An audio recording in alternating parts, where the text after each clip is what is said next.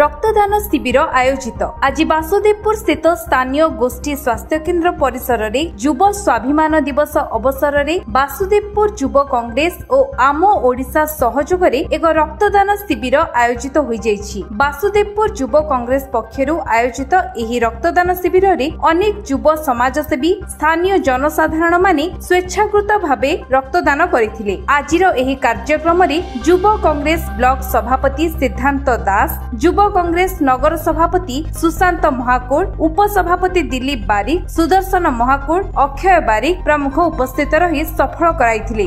ଭଦ୍ରକ ଜିଲ୍ଲା ବାସୁଦେବପୁରରୁ ଲକ୍ଷ୍ମୀକାନ୍ତ ମହାନ୍ତିଙ୍କ ରିପୋର୍ଟ ବିଶ୍ୱବିଜୟ ନ୍ୟୁଜ ଓଡ଼ିଶା।